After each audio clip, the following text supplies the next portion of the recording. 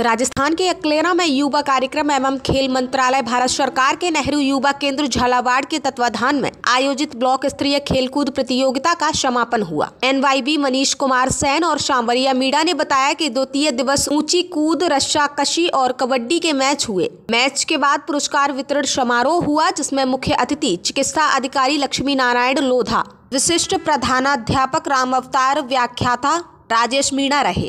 वही कार्यक्रम की अध्यक्षता जिला युवा अधिकारी दीर्घा राजावत व गरिमामय उपस्थिति जिला कार्यालय एटीएस नरेंद्र शर्मा ने की। महाराणा प्रताप यूथ क्लब सरना ने जिला युवा अधिकारी दीर्घा राजावत व एटीएस नरेंद्र शर्मा को शाफा बांधकर और प्रतीत चिन्ह भेंट कर स्वागत किया।